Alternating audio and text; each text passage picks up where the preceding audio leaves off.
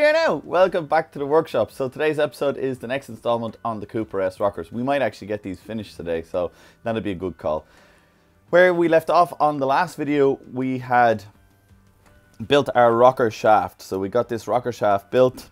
Um, we had a good bit of uh, work to do. We remachined all the uh, rocker posts. We made sure that they were true and square in all the different directions. We trued up the different ends, and we also modified it to move the uh, rocker post with the locking key from the outside to the second one in, which is a modification that was done in the early days. These being a true set of Cooper S rockers were original with that one on the outside. The next stage in the process is to rebush the rocker themselves. Now, for the most part, the rockers that have been supplied to me for this engine are actually in really good condition. However, when we used the snap gauges and the go-no gauge and measured these bushings, they were about two, they, they went between one and a half and two and a half thousandths over size. None of them were on size.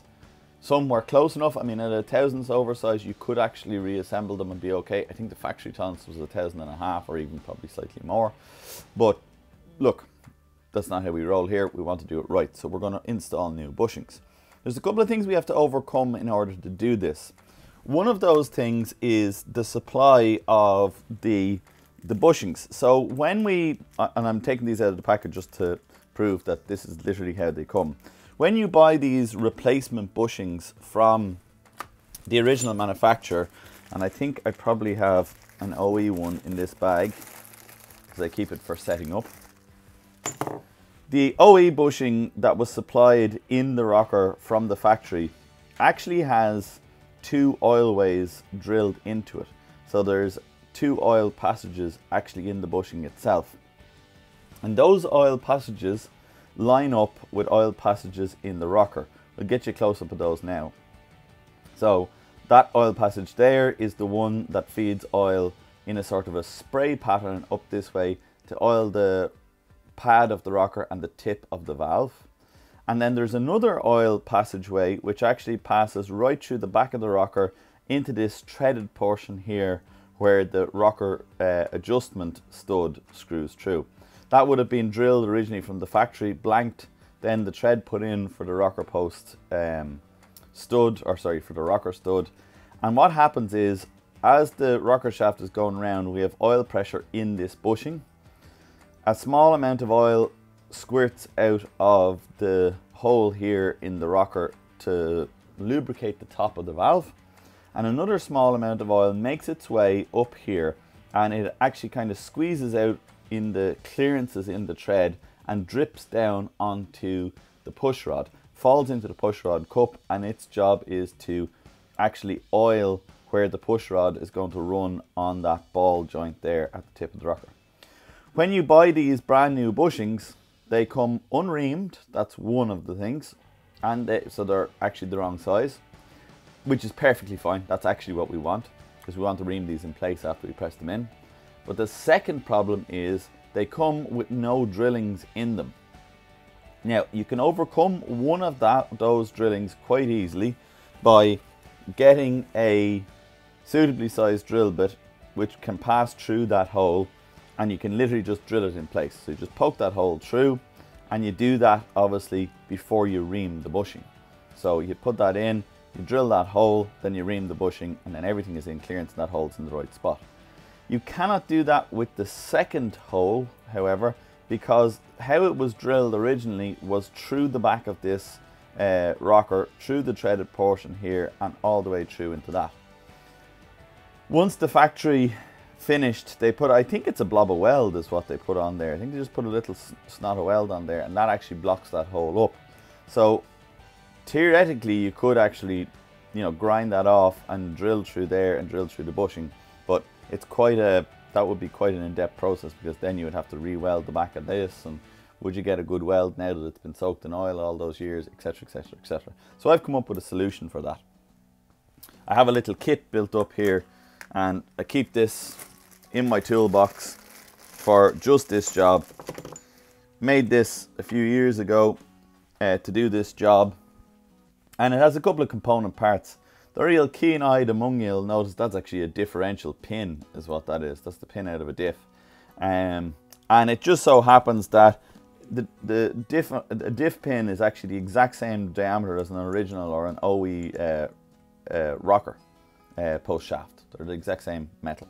So all I did uh, was built up a, a, sort of a ring of weld around it and then in the lathe turned the OD of that and a shoulder. And what that actually allows me to do is I can use that as a drift to drive out the old bushing. Just a very simple bit of tooling made up. The nice thing about an old diff pin is it's real hard steel, so it's ideal for drifting. You can hammer on it as much as you want and it'll come out. This other piece of round bar that you can see in my hand here, literally just a piece of 30 mil round bar. We put it in the lathe. We counterbored it so that it takes the diameter of a bushing. So you can see a bushing sits into that counterbore perfectly. And then we also created a bore shoulder, which lines up perfectly with the bore shoulder of this, uh, or that shoulder there of your uh, rocker. So what that allows me to do is just to go over to the anvil, stand it up on it, and I can drive my pin out. Because I've got a significant counter bore inside there, that allows me just to drive the pin all the way through. And then I can even use that then to drive in the new bushing. So I can actually drive in the new bushing uh, nice and flat using my pin. There's one last bit of intricacy in this little piece of jig and that is this hole here. What that hole allows me to do is with a 3.2 mil drill bit which fits into that hole what I can do is I can put a rocker post or a rocker uh, bushing should I say not a rocker post but a rocker bushing inside into my jig, can hold it in there, and then I can use my drill bit to put that first hole in. Now, where does that hole need to be? Do I have to index it in there so it's in the right spot? Well, from the factory, they there's a split in all of these bushings. They're a split bushing. From the factory, they put that hole, well, as you would look at it if it was the clock face you were looking at it, they put that hole at 11 o'clock. Sorry, 10 o'clock. Uh, so kind of sticking in here. So if you had 12 up there, you'd 11 there, you'd 10, and then you'd 9. It was in there at 10 o'clock. Now, I do that just by eye when I'm doing this. Basically, what I do is I have a little mark just scribed into the uh, end of my, I just put a little scratch in there, which gives me my 12 o'clock. And I literally just put the bushing in on that mark, hold it there tightly with my finger, and then just poke that hole through. Once the drill bit starts, you can take your finger away. It's not going to move around inside there. And just poke the hole through. And then that gives you your starting hole on your bushing. Once you have that start hole, there's one that I've just done uh, to show you. So now I have that start hole there at 10 o'clock. Once I have the bushing driven out, I can then line that start hole up. So basically, the split of the uh, bushing is uppermost. That puts the hole in line with the hole coming through here. And then you can just push that uh, bushing into the rocker and then poke your second hole through, which is your second oil way. And what that will leave is it will leave your rocker back to factory original. A lot of people, I have, I've gotten loads of these to rebuild over the years that have had this well, have been rebushed. And anytime I get them and they've been rebushed, it's this blank bush that's in there and there's no extra holes drilled in it. Uh, of course, the problem with that is that you're reducing the amount of oil that's going to get to the cups of the um, push rod and you're reducing the amount of oil that will be up around the top of your valves. Obviously, if you reduce lubrication like that around there, you increase the chances of wear and you reduce the longevity of the valve train in the motor. It's very straightforward, it's very simple. So can you get away with not putting those HUDs in? Of course you could, but you are going to sacrifice longevity of the valve train. So if you're going to do this, I recommend that you do it correctly. You get tooled up and you make it the way I did. What I just want to point out, folks, is, is that the tooling that I use is not really complex tooling. It's not stuff that is difficult to make. If you've got a friend with a center lathe uh, and any kind of skill at all at turning, you can make this tooling up in a matter of minutes. It's, well, minutes is probably a bit of a stretch, but you can make this tooling up even for a one-off job, even if you're just doing your own rocker. This is the kind of stuff you can make. And it's the difference going to be between you doing a really good job and you doing an amateur or, you know, poor job. What really will bother you is, is that you can send your rockers off to be rebuilt by a professional and they won't do this kind of work. And that is, I suppose, what you need to at least be able to check minimum. So do you want to follow me now? And we're going to make a couple of these. I'm going to do a couple of them and then I'll go off camera and finish them off. And then we'll come back and I'll show you the next assembly on the rocker post. We're just over here in the corner of the Bridgeport and I don't mind doing an operation like this in the Bridgeport. It's a bit easier to film for you guys and easier than trying to bend down the anvil. It's just to have something sturdy to bang against. So we're just on the table here. And all we're doing is just driving that bush out. So that's our driver, that's our uh, rocker, and then our bush just pops out. And it is just nice and repeatable. That centers the rocker perfectly. Nice and gentle tapping it out. No big force going on here at all. We're literally just taking our time, doing one at a time, and getting through them.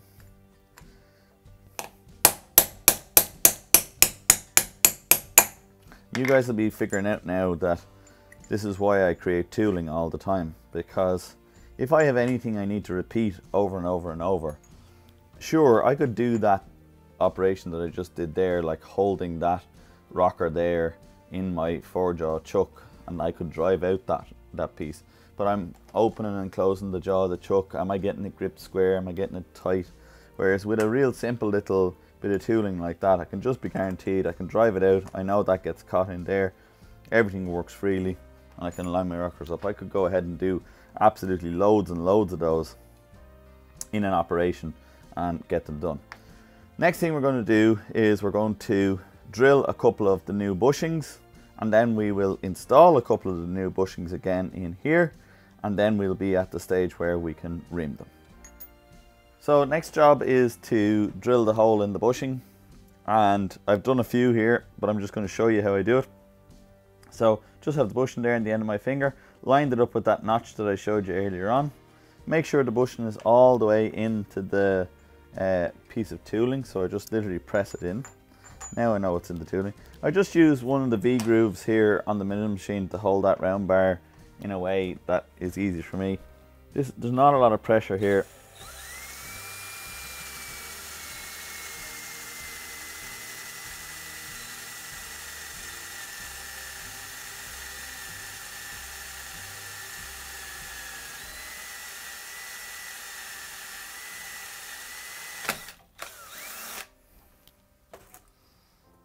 off that One or two little taps down there and out it comes. Okay, we don't have to worry about deburring that because it's going to be reamed and there's no bore on that side because we're machining it in a fixture. So real dead straightforward and simple. You just get the bushing in there, make sure it's lined up with that groove. Sometimes when it goes in it might turn a little bit. In fairness, how critical it is that that lines up with that groove it's not the end of the world, but you know, if you want a bit of repeatability, you want to be able to do the same thing over and over.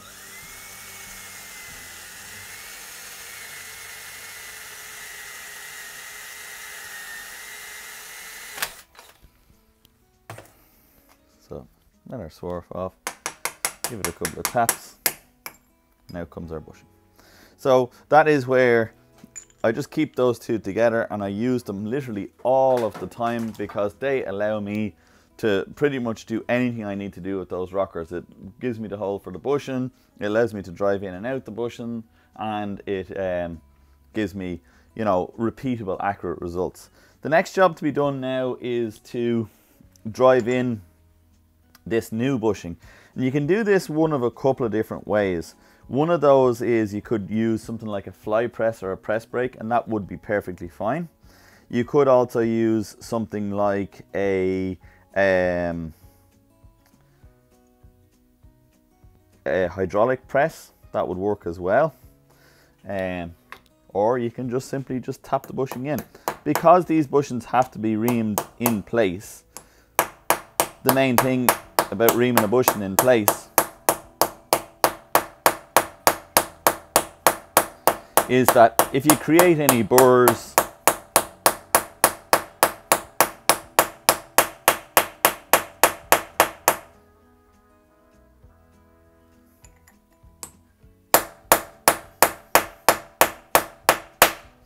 not actually hitting that bushing very hard, I'm just giving it a couple of taps.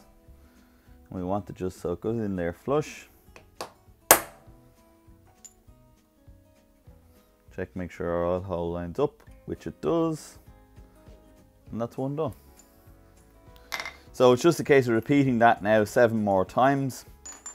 As I said, we could put them in the fly press, we could put them in the hydraulic press, we can tap them in.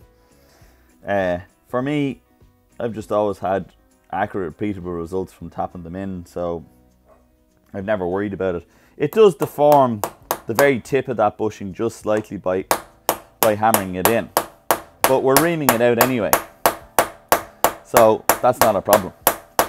That's going to be taken out of it by, by reaming it. So there's nothing to worry about. Make sure we're lining up. We are.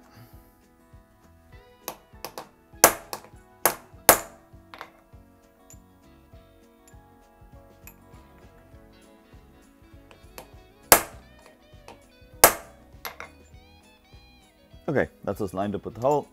I'm just going to repeat that now six more times and then I'll bring it over to the jig for reaming those out. So just before we go on to that final step, I'm actually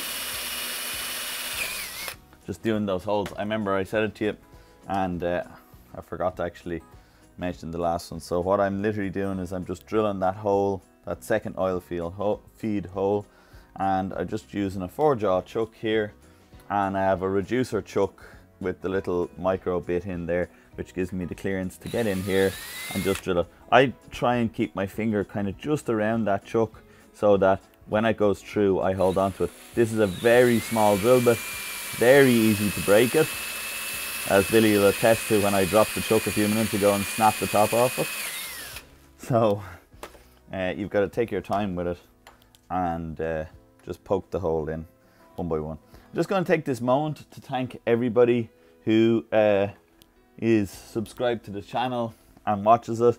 I've seen a few of the my Irish followers uh, Friday just gone at uh, Frank's Yard Auto Test.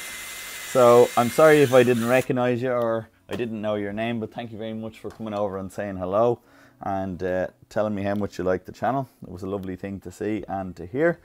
So you're all very welcome. Uh, for those of you who are new to the channel, you are also most welcome. We're a uh, community of engineers, car enthusiasts, and blackguards, myself. Uh, have a look around, look at some of the videos that are on the channel, see what you think. If you like it and you think we deserve it, give us a uh, subscribe. If you think you have friends who also might like the channel or people you may know that would like the channel, uh, share it with them. Let them know where we are, who we are. If you have a Facebook page, share us on that. Instagram, share us on that.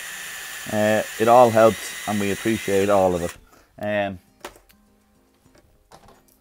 comments in the comment section below. Don't be afraid to comment if you think that uh, I'm making an absolute hames of something. I always love uh, uh, hearing your ideas and hearing your, your thoughts and we can have some worthwhile discussions as we go along and figure out how to do things better and right and clear up confusion. Okay, now that we have all those drilled, first thing we'll do is take that little microscopic drill bit out of there so that I don't drop it and break it yet again. Put that up there. Okay, so every one of those has now had its hole drilled in here and it has its hole drilled into this bushing to line up with the oil way. The very next process we need to do is we need to come over here uh, to our jig that we've set up. Now, before we can do this, what I actually need is a finished rocker to set this jig up. We'll grab one now. So this is one that I keep spare uh, for setup purposes. So the way this works is actually really very straightforward. What my jig is, is a block of aluminium that I have set up in my vise here, uh, in the machine vise. I have a stud that's drilled at an exact right angle. Now it is very important that that stud is in there at an exact right angle. Otherwise, uh, you won't ream this bushing through. What else have we got? We have a hole that goes through the block and we have another locking stud here and its job is to centralize everything. Now, I won't lie to you, there is always a bit of a faff in this. There's nothing, uh, it's not dead uh, quick, unlike some of the other processes. But reaming this bushing accurately and square is really important. So I actually don't mind taking my time and doing it. So this is the initial setup one. So we lock that guy in there and we lock that nut there. And what that's doing is it's holding our rocker down flat to this surface here with this one and this one is holding our rocker in tight to that so it can't turn. So our rocker now is in our little fixture in our jig and the next thing we need to do is we need to square it up with the milling cutter.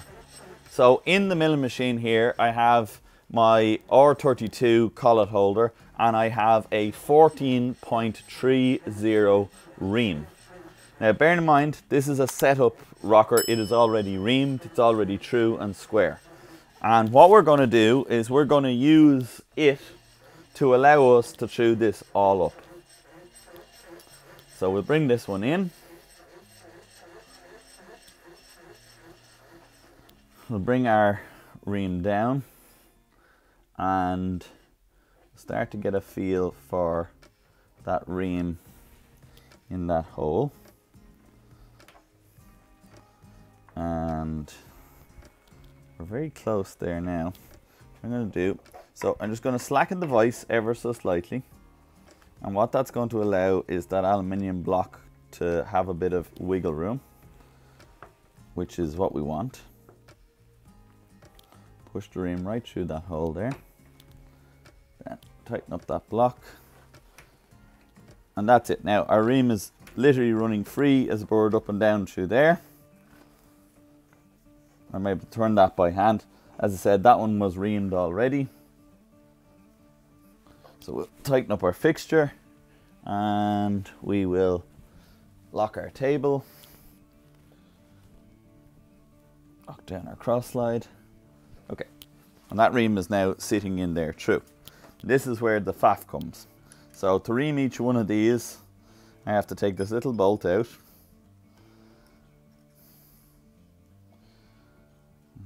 Of course the very first one's already giving us hassle. Take that little bolt out.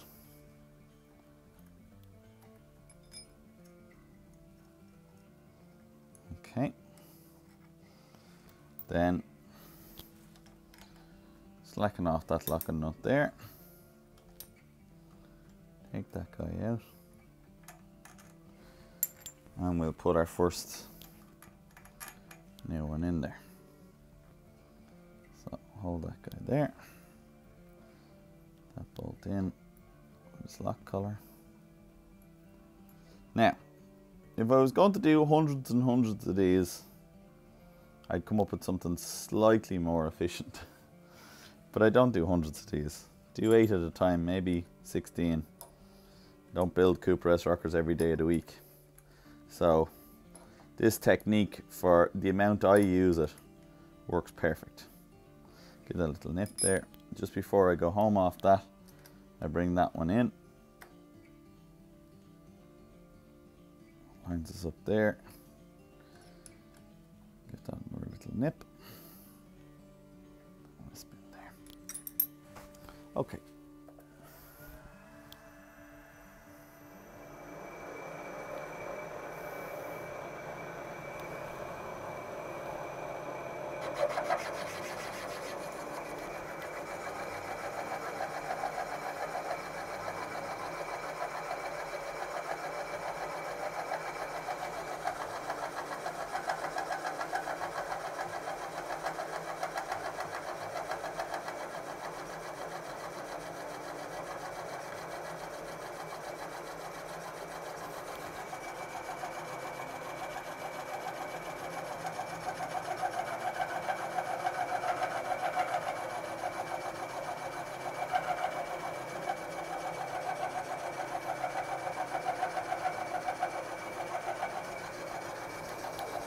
So the machine is auto feeding down. So it's actually feeding down through that spindle. It has gone through now. It's going down through the hole. It's making clearance. And the next thing that will happen here is you'll see it kick out and then we'll be ready to set up for the next one.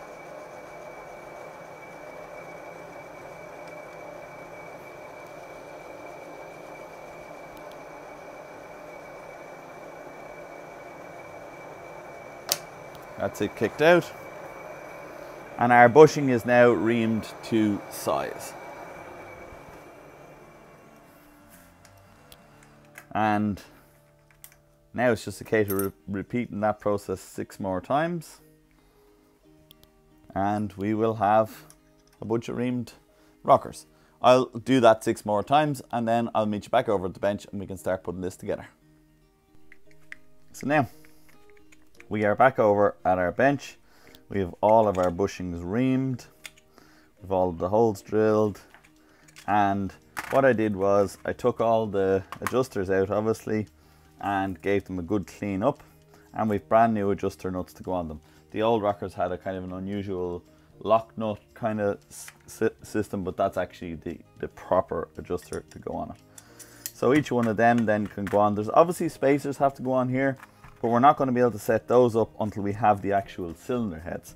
And the cylinder heads are due back any day now from getting their valve seats cut. So as soon as they're back in the shop, uh, we're going to be reassembling those. And one of the very last parts of that video will be us putting these rockers with their, uh, you know, correct spacers onto that uh, cylinder head and then setting the spacings. So we'll have some spacers to set on those rockers and we will do that as I said as soon as we have the cylinder heads here. I hope you guys enjoyed following me along for this uh, rebuild of these rockers. Let me know in the comment section below, would you like me to see me rebuilding other rockers, uh, modifying them, doing that kind of thing. As I said, these are just a dead standard rebuild of rockers uh, as I do them here in the shop. Am I saying that that's the only way to do them? No, loads of people have loads of different ways of doing them, but that's what I've developed for myself over the years, and it has worked well. I've always ended up getting really good results.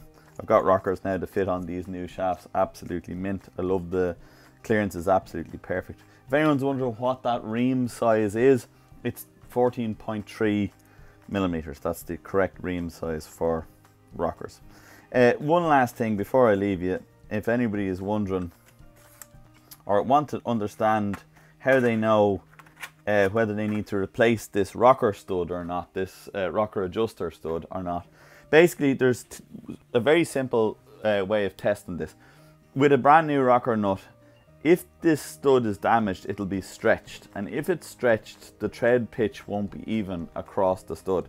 So if you want to figure out whether your rocker stud is good or bad, you run a nut all the way down that rocker adjustment stud and if it runs down it free and easy without any requirement for a tightening up or binding then that is going to tell you that that rocker stud is not stretched it's not uh, worn. The only other place that it could wear that could be a problem is on this ball so you just check that ball to make sure it's even and consistent all the way around. It's not worn to one side or worn down to one side. And if it is even and consistent all the way down then that tells you that you have a good rocker stud that is serviceable, ready to reuse and put back in the rocker, which is what we've done here. Nothing wrong with them at all. No point in replacing them. Hope you guys enjoyed that one.